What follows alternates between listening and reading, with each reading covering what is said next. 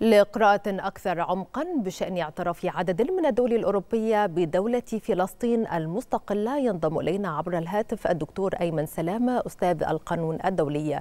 دكتور أيمن قانونيا ماذا يعني اعتراف هذه الدول الأوروبية الثلاث بدولة فلسطين؟ وما الذي يمكن أن يترتب على هذه الخطوة في القانون الدولي؟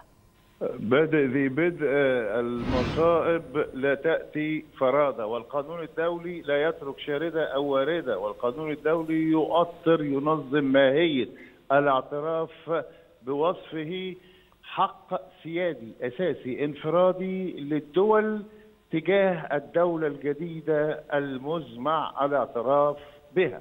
ومن خلال التصريحات الرسمية الثلاثة إيرلندا إسبانيا والنرويج التي تفضلتم بعرضها على المشاهد الكريم هذه الدول تحدثت عن أن هناك أركان للدولة الشعب الإقليم الحكومة التي يجب توافرها وهذه الدول تدرك إدراك اليقين توافر هذه الأركان الثلاثة لدى فلسطين المعترف بها حتى هذه اللحظة 142 دولة منذ إعلان لأول مرة قيام الدولة الفلسطينية في الجزائر 1988 بعد مخاض عسير.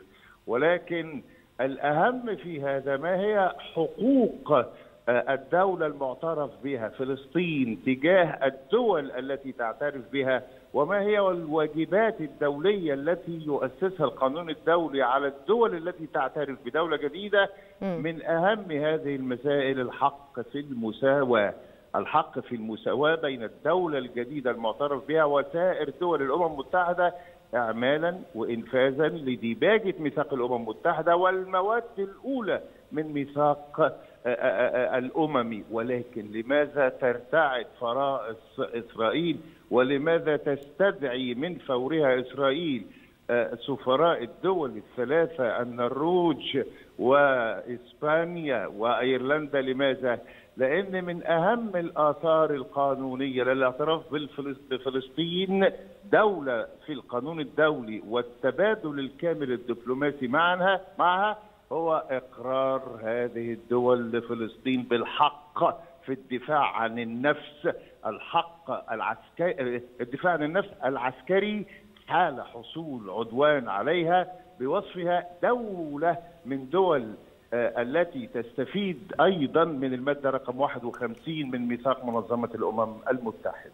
نعم اذا كيف يمكن من خلال حديثكم البناء على هذه الخطوة سريعا واستثمارها في إطار وقف جماح إسرائيل اليومي في قطاع غزة والتوجه نحو نيل العقاب الدوليه المستحق لها. بادئ أشكرك بادئ ذي بدء على جامعه الدول العربية الآن.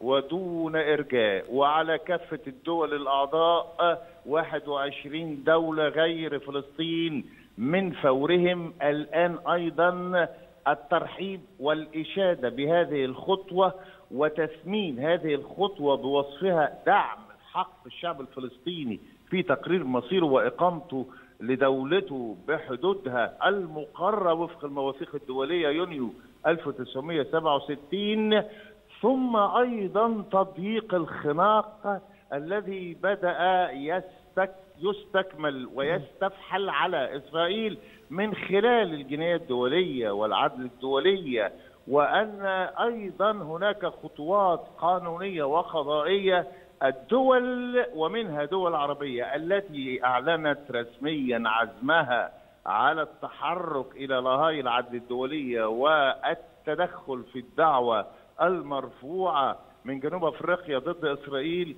عليها ونناشدها من جانبه الإسراع بتنفيذ هذا التدخل في الدعوة ضد إسرائيل حتى يستكمل الخناق ولربما يكون مآل إسرائيل ومصيرها هو مآل أفريقيا العنصرية التي انحلت في نهاية عام 1993 من القرن المنصرم.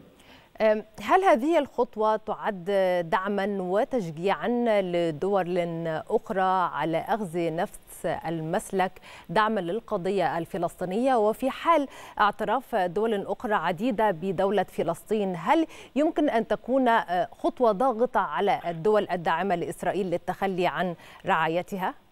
إسرائيل أول دولة في العالم تدرك خطورة الدول خطورة الخطوة من هذه الدول تحديدا.